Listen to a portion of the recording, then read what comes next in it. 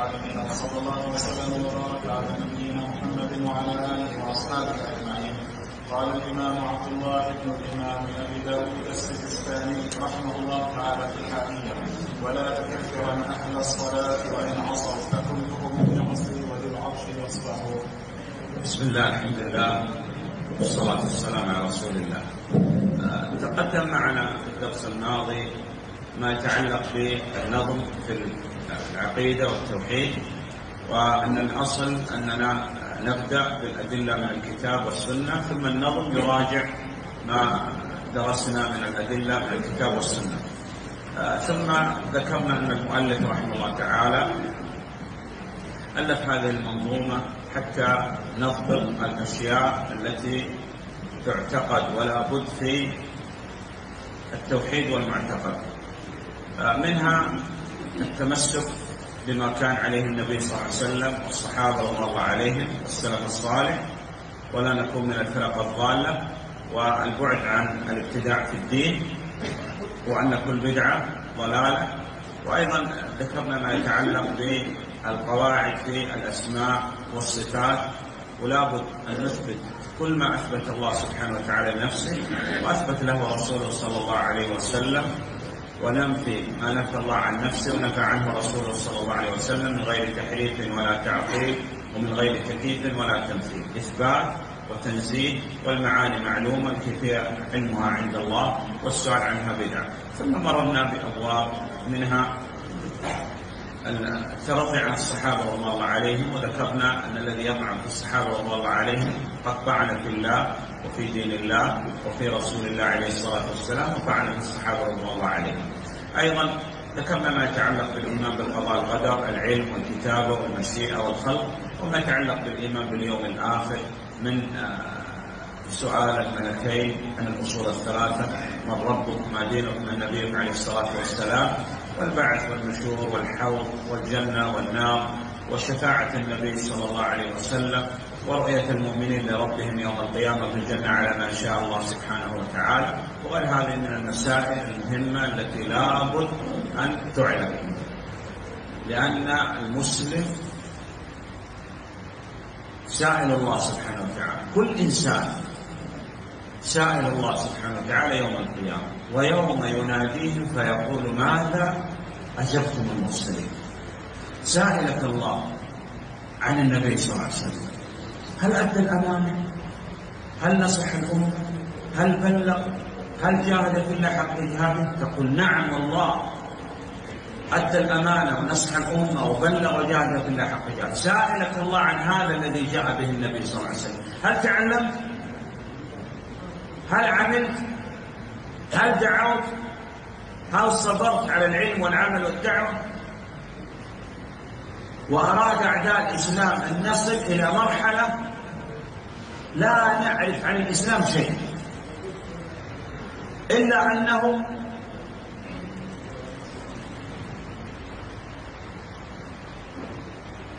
ميم سين لام ميم لا يعرف عن الإسلام إلا ميم سين لام ميم يعني مسلم لا يعرف شيء عن الإسلام.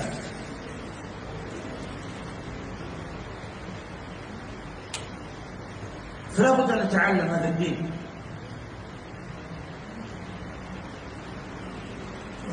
ونعلم الأولاد جاء النبي صلى الله عليه وسلم بهذا الدين يقول ابن القيم رحمه الله لو لم يأتي النبي صلى الله عليه وسلم بدليل على صدقه إلا أن النبي صلى الله عليه وسلم جاء بهذه الشريعة لكاف أن يكون فيها الشاهد والمشهود له والحجة والمحتج له والخبر والبرهان نعم. طيب. قال رحمه الله ولا تكفرن أهل الصلاة وإن عصوا فكلهم يعصي وذو العرش يصبح نعم.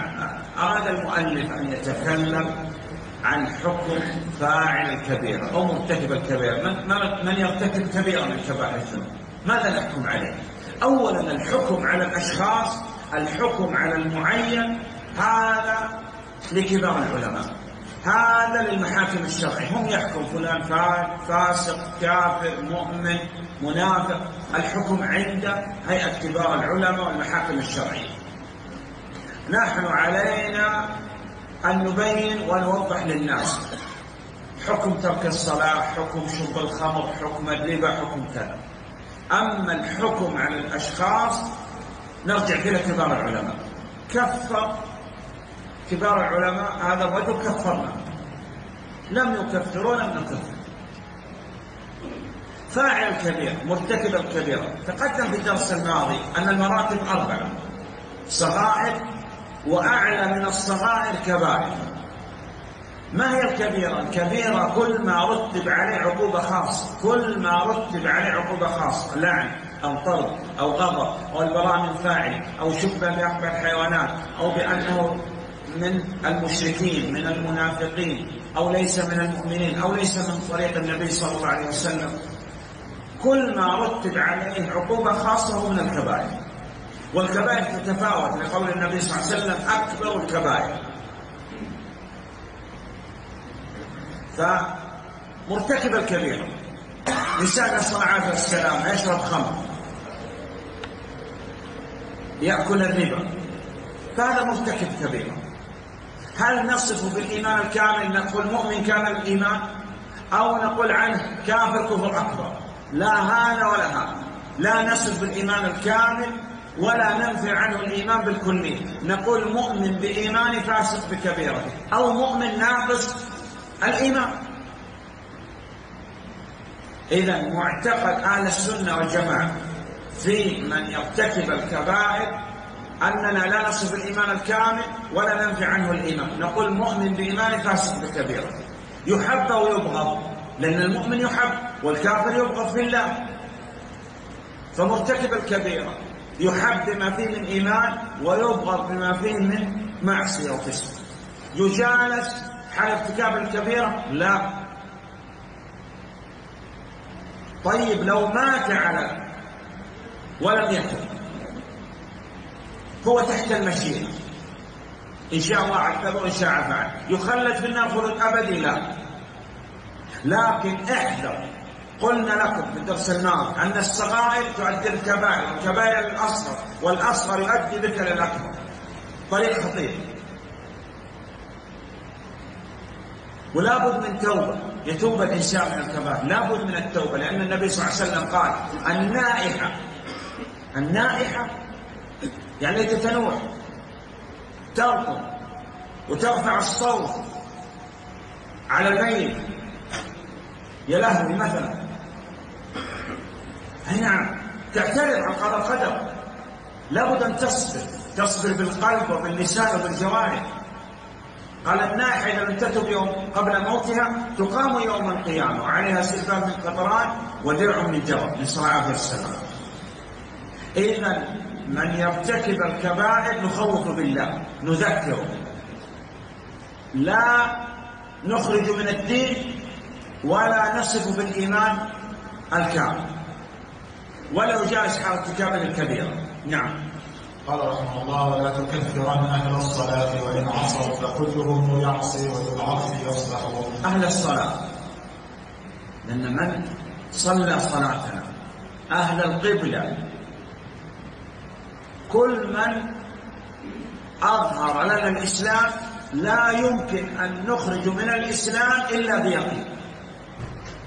وهذا ولله الحمد ذوق كبار العلماء المحاكم الشرعية.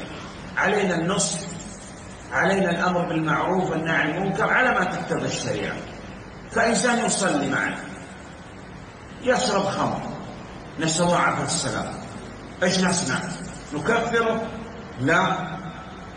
نقول ما شاء الله تبارك الله عليه لا. يجالس على ارتكاب الكبيرة لا. يناصح نعم ولا بد. إذا كل من استقبل قبلة على الإسلام فهذا نحكم على ظاهر بالإسلام. والله سبحانه وتعالى يتولى السرائر. نحن نحكم على الظاهر والله يتولى السرائر. وكل من مات على الإسلام نعامل على ظاهر يغسل ويكفن ويصلى عليه ويدعى له بالرحمة وكل من مات نسأل الله عافية السلام على الكفر فهذا لا يغسل ولا يصلى عليه ولا يكفن ولا يدفن مع المسلمين. يا إخواننا الصلاة أمر عظيم. كان لا يتخلف عن الصلاة أي صلاة الجماعة إلا منافق ظاهر النفاق. وكان يؤتى بالرجل يهادى به بين الرجلين. لماذا؟ نجد يعني جمع كبير ما شاء الله. هذا نعمة في صلاة المغرب والعشاء. ولا نرى هذا الجمع في صلاة الفجر. مع أن الكل لا يتغيب عن الوظيفة أبدا ولا تأخر. واستعينوا بالصبر والصلاة.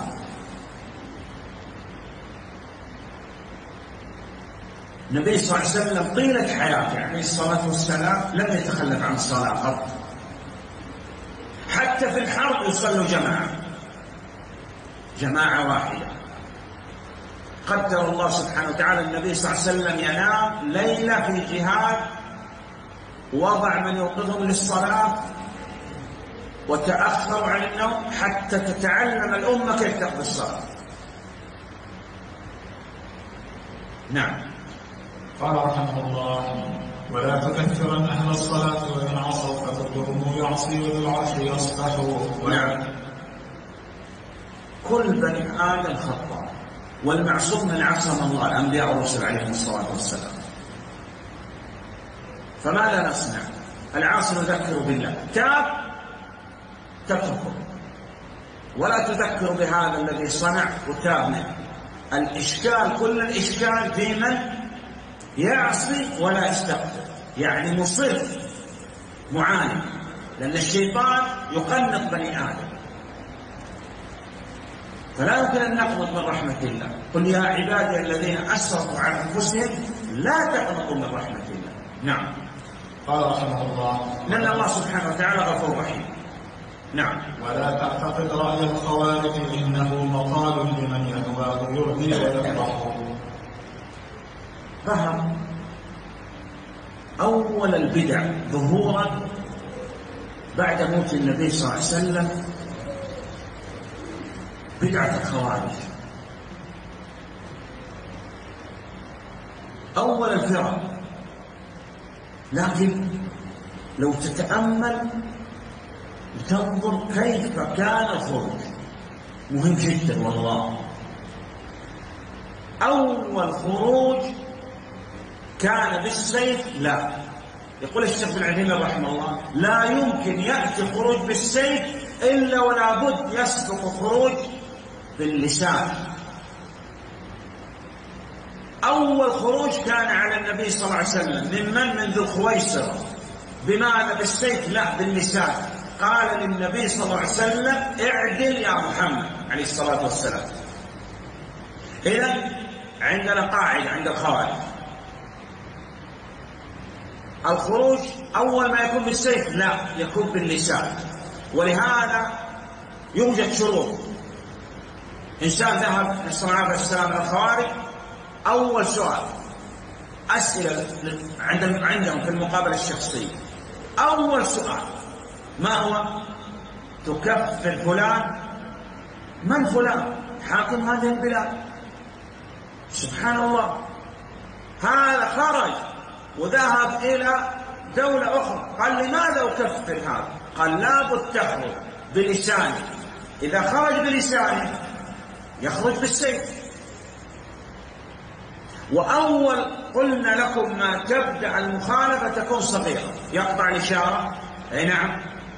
يخالف في بعض الأمور شيء فشيء يعتاد على الخروج على السلطان ثم بعد هذا يكون الخروج الأكبر.